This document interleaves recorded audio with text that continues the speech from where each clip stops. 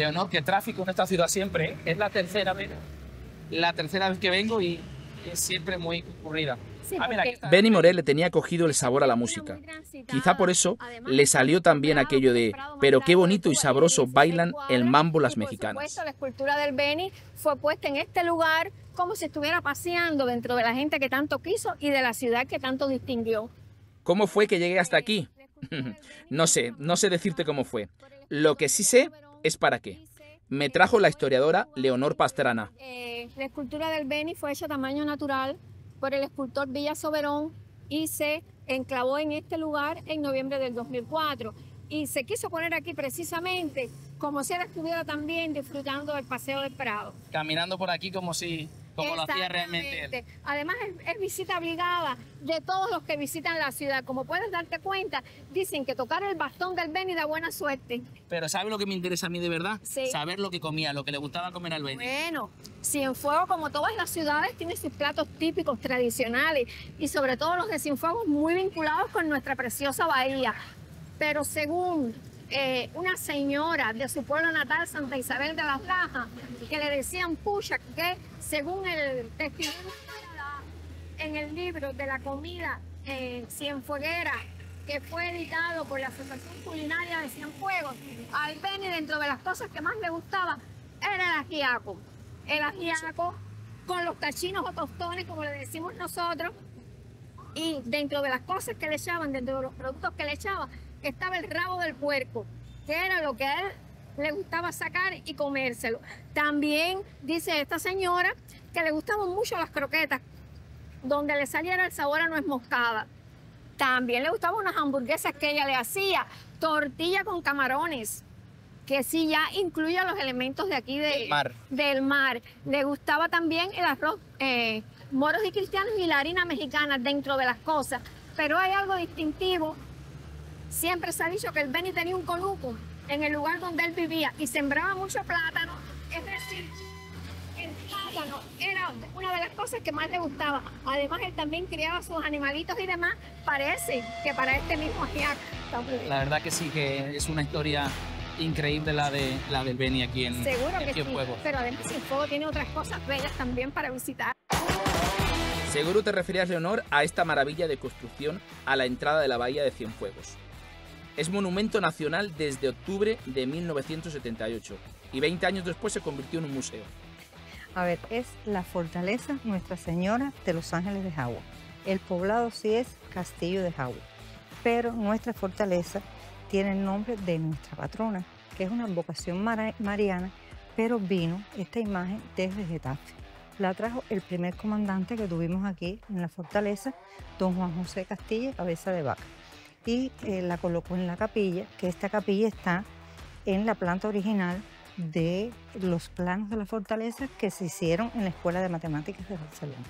Esta robusta construcción en piedra tiene estructura cúbica, dos niveles, un puente levadizo y una garita abovedada. Marisol, pero aquí los escalones son altos, ¿eh?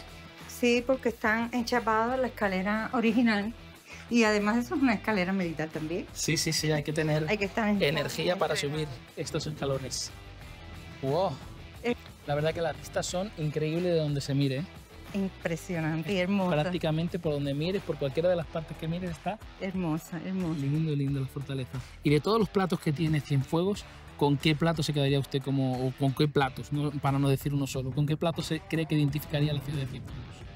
Eh, yo me quedaría con los que se hacen con jaiba en primer lugar, pero fíjese, en primer lugar, porque la jaiba también tiene muchas formas de, de elaborarse. Está la harina con jaiba, Y con la harina con jaiba nos quedamos también nosotros.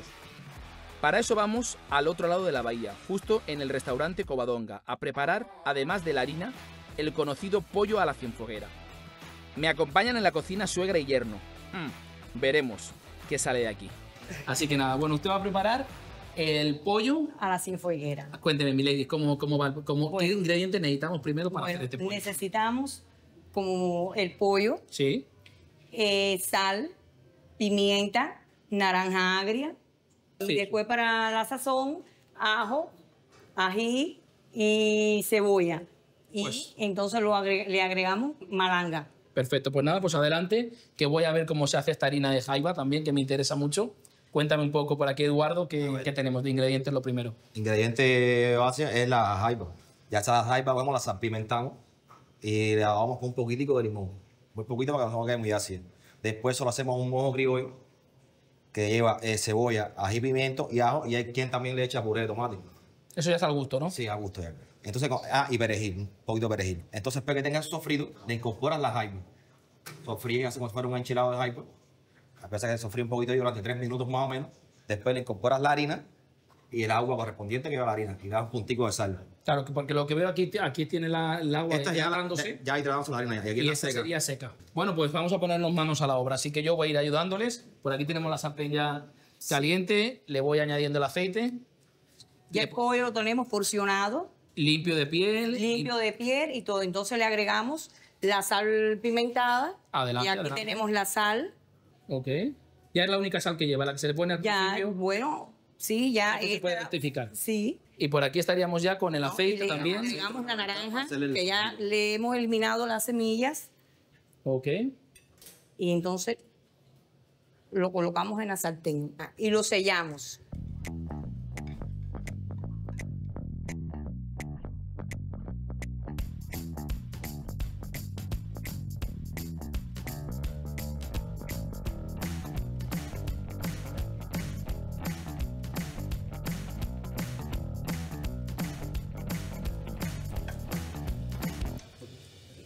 Bueno, entonces, ¿esto cuánto tiempo necesita para llegar así? Ya tres minutos nada más y ya está listo. Ok, lo tapamos, lo dejamos ahí para que cueza la, lo que es la malanga. ya, sí. Deme el detalle de lo de la malanga, porque me ha dicho eh, que se puede hacer con otro. Que Pues- es el ñame, ¿verdad? El, ñame es lo mismo, parecido, muy parecida a la malanga. Pero entonces en este caso hicimos también con guagüí, que se puede hacer con guagüí. Que es similar a la malanga. Es similar. Y aquí por aquí estamos echando ya Ya la harina. la harina ya. La harina ya a la jaiba, ya está el sofrito hecho. Sería la harina que está hidratada Ya también. está hidratada, solamente incorporarle el agua, Perfecto. Eh, hay que sofreírla un poquito también, por lo que veo. sellarla y echar incorporar el agua. Perfecto. ¿Y qué cantidad de agua aproximadamente? más- Eh, más- viene siendo eh, el, doble, el doble de agua que de, que de harina. Ahí está. Y y ahora, ¿qué necesitaríamos para que. ya ya demora más o menos de 30 a 40 minutos. Milady, ¿y se llevan también en- después de cocinar como se llevan ahora para No, cocinar? no, nos llevamos muy bien, muy bien. ¿Sí? Siempre, sí. Cocinando y sin cocinar. cierto. Sí, bien, bien. Una bien. relación muy bonita. Oye, ¿qué nos quedaría para la No, ya esto está listo para emplatar. Bueno, pues nada, ya para acá. Vamos para acá y vamos a ir emplatando. Perfecto, por aquí el pollo. Tiene un, un olor. Las dos cosas increíbles. ¿eh? Ha cogido un colorcito ahí de al, al hervir con la, con la harina, ¿verdad? Sí, claro. Ya, ya, ya, ya, para, para, para de limpiar la sartén tanto que yo quiero probar esto. Mientras tanto, ir decorando. Bueno, huele increíble. Mm. Exquisita. Le pondríamos una muelita ahí de decoración Ajá, que ya está, ya está elaborada. Ya están hervidas y pues, todo, Sí, ¿no? pueden comer. y un poquito de perejil. Bueno, ya tenemos listo por aquí la harina y el pollo a la cienfueguera, ¿no? Pollo así fue. Perfecto. Aquí le vamos a poner también, yo creo que un poquito de, un poquito de perejil para que no se ponga celoso. El plato y listos. Los dos listos para comer, ¿no? Ya. Perfecto. Oye, pues muchas gracias. Nada, gracias. Nada. Chinea, disculpa que te haya hecho esperar, pero te he traído estos dos platos que quiero que me hables de ellos y me cuentes la historia de, de los dos, de la harina y del Bueno, pollo. eh, tenemos dos platos muy típicos de aquí de la provincia de Cienfuegos, que realmente son naturales de aquí, de, de las diferentes zonas aledañas a nuestra provincia. Vamos a ir probándolo, ¿eh? Y vamos a ir consumiendo para saber de qué estamos hablando, por supuesto. Tenemos aquí sin nada más y nada menos que la harina con, con jaiba.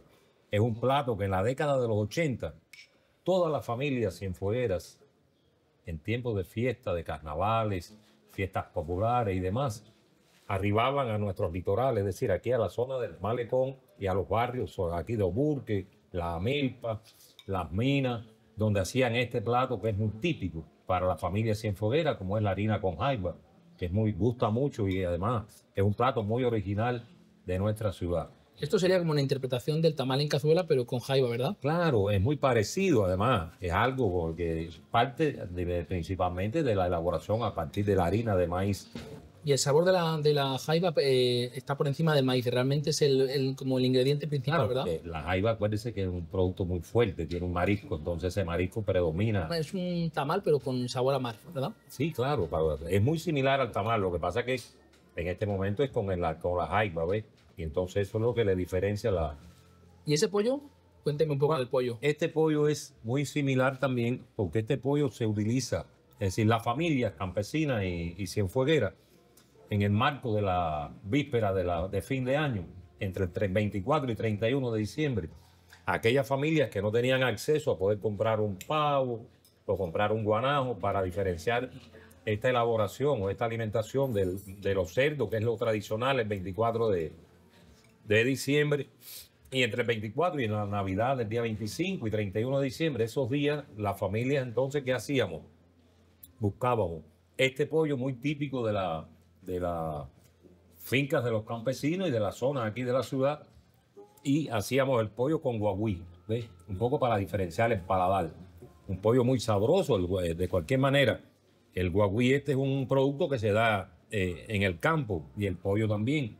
Y las especias que además le echamos, el ají, la cebolla, el ajo. Es decir, es muy nutricional y además es muy agradable al paladar. Y es lo que usaban las familias en esos festejos de, de fin de año. Bien. Aparte de estos dos platos, yo estoy seguro que la cocina de aquí tiene que tener muchos más platos emblemáticos que... Mm.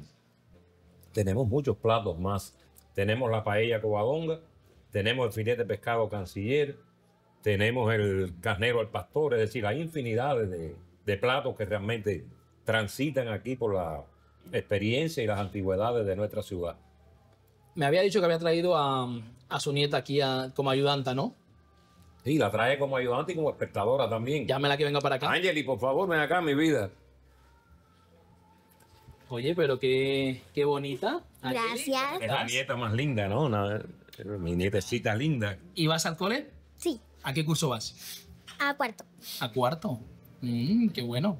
Y me han dicho que sabes cantar Sí. y que tienes una canción y todo que habla de, de comida, ¿sí? ¿Y por qué no, no la cantas? Ok. ¿Sí? Sí. ¿Cómo se llama la canción? La cazuela cansada. Ah, escucha para La cazuela cansada. Mm, vamos, pues nada, a escucharla mientras comemos, claro que sí. Claro, tú ves cantándola. De la cocina se escapa de una cazuela y se ha sentado en un sillón a refrescar. Está cansada, acalorada, no le dan tiempo para respirar. Abuela corre tras ella para que vuelva, que ya es hora de cocinar. Un rico queso, arroz con pollo, yuca con mojo y una tiflan. Abuela, las vacaciones a la cazuela le debes dar, porque está muy agotada. Linda la canción. Muy linda, muy linda, muy linda. Oye, ¿dónde has aprendido a cantar? Estoy en un grupo que se llama El Compás de las Olas con Berquidia. ¿No? Bueno, gracias, mi vida, lo has hecho todo muy bien. De nada. Va a ser una gran cantante. Seguro. No, y cocinera también. ¿Qué porque- quieres ser de mayor? ¿Quieres ser cocinera o cantante o qué quieres ser? Cantante. Cantante y después cocinera, ¿no? Mejor, te lo aconsejo. Mm, Mejor cantante que cocinera. Sí. Claro que sí.